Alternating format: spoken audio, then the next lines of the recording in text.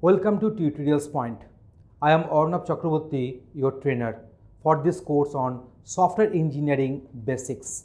In this particular course, we shall discuss lots of different issues on this software engineering. In our course, we are going to cover this list of topics.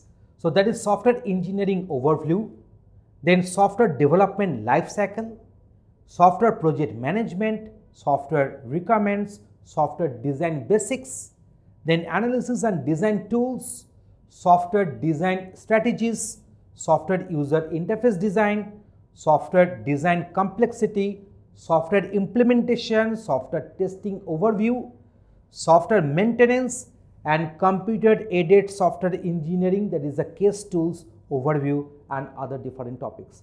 So here we are considering that you are from the engineering background and you want to know the basics of software development and related software engineering. So that's why this tutorial will enrich you in knowing the details about this software engineering. Please watch all the videos in the sequence in which they have given in the tutorial and have a good conception and grip over this subject. Tutorialspoint.com Simply easy learning.